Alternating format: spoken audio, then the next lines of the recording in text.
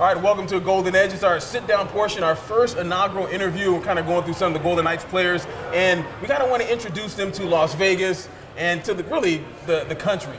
Um, one man who really doesn't need a whole lot of introduction to Las Vegas, Deryk Engelland. Um, obviously, you you played in Las Vegas when you were you know down in the minors and whatnot.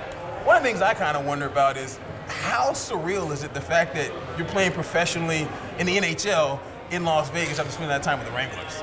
Yeah, back then, um, you know, you don't ever expect uh, NHL to come here. Um, you know, I knew with the East Coast, they drew drew fans well for the coast, and uh, it was a great city. A lot of lot of fan support, but at the time, it was you know the the gambling thing and all that was an issue, and so you never really thought about it, and never really crossed your mind until. Uh, you know, it, it, got out there that Vegas is looking, and Bill Foley uh, has done an amazing job uh, with the ticket drive and everything like that. And you knew the support would be there. With uh, you know, there's a lot of people in the city from from different uh, states, different countries that are more hockey related, and um, I think that's helped help the game grow a lot here. Man, the, I mean, the atmosphere inside of T-Mobile is sick. Um, obviously, you played in the Orleans. I covered the team back in the day. Like I moved here in 2004, so I covered like 2004, 2005 when the team went to the. I don't know what the Stanley Cup equivalent is in in uh, is it Kelly ECHL. Cup? I think Kelly that's Cup? what it is. Yeah, yeah. yeah. And the team was good. Like they got, I think they Yeah. went maybe two straight years.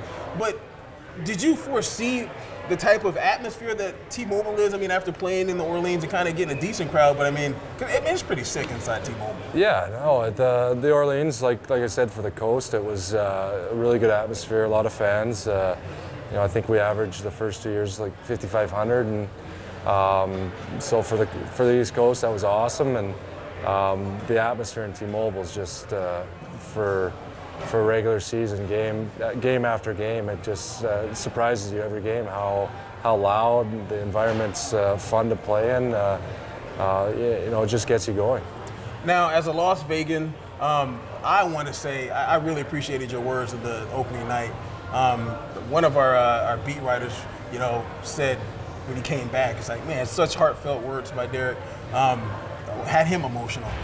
How, what have you heard from you know, maybe players or, or just people out in the community uh, from what you said, you know, opening night, kind of addressing the crowd and what had happened? Yeah, uh, a lot of guys off teams have uh, like, told me a great, great job with the speech, that type of thing. It's usually during the game, so it's just quick. But um, you know, I see people around the rink or around the city that uh, if they recognize you, they that's one of the first things they say is uh, the speech was uh, meant a lot to them and, and the city of Las Vegas, and um, just to be able to pull it off. First thing, I don't talk very well in front of a lot of people. Oh, so no, you did fine, man. um, no, I went really well, and uh, I'm, I'm extremely happy that it, uh, that I got the chance to do it and do it.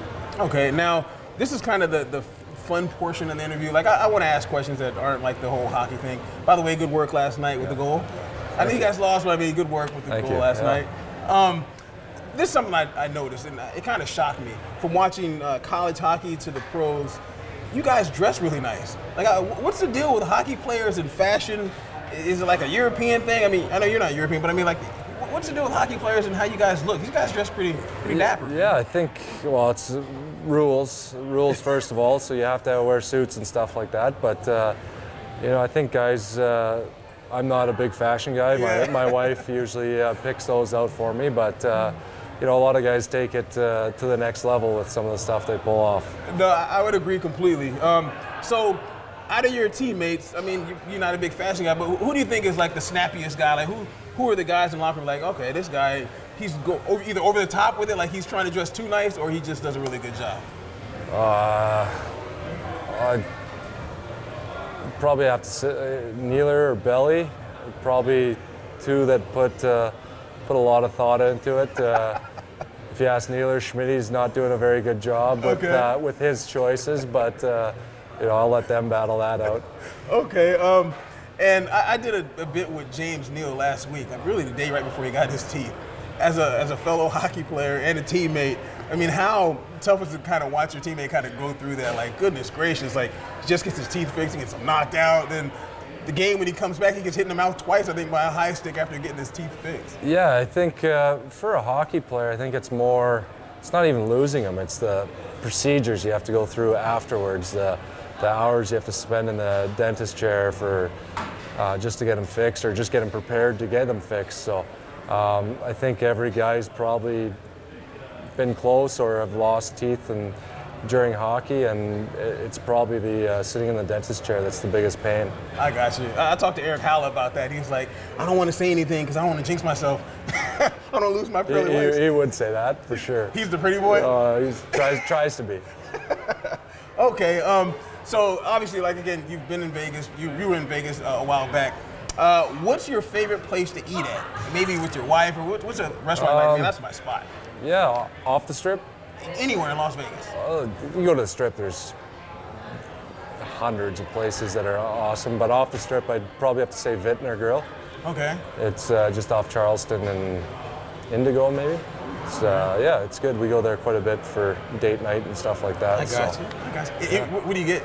You got Oh, like, you I like try to change guy? it up. Yeah, I try to change it up. They're, they got a good uh, cheese and meat platter to begin with. a lot of selection, so that and um, you know, I, I don't think I've had anything bad there. It's it's all pretty good. It's uh, good atmosphere. It's it's nice. Uh, they got a nice patio and everything, so it's uh, it's fun to go there. All right, all right, all right, cool. Now, um, I, I wonder about this. Who is the best skater in your team? Like fastest skater, he you know gets forwards, backwards moves really well. Fastest probably Haula, straight straight line. He's yeah, he's probably probably our fastest skater by far. Um, yeah. Okay, all right. I guess fastest and best kind of go hand in hand somewhat. Yeah, I don't, I don't know if he skates backwards as good as uh, some other guys, but uh, straight line for sure him. Um, agile, I don't know. I wonder about this. I think a lot of people wonder about this with hockey players and how you guys learn how to skate because you almost think of it as an afterthought. The fact that you guys skate so well, like how nice of a skill that is. Did you practice as a youth?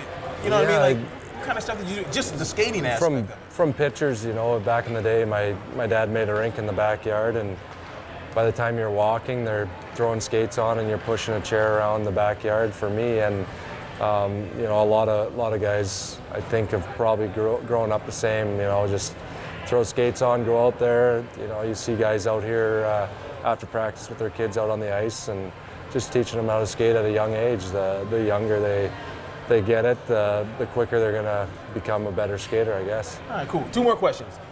One, favorite movie. Favorite movie? Um, that's a tough one. Uh, You can give me genre if you want, like maybe a favorite action, favorite comedy if you want, but yeah, that's your go-to. big Rounders fan.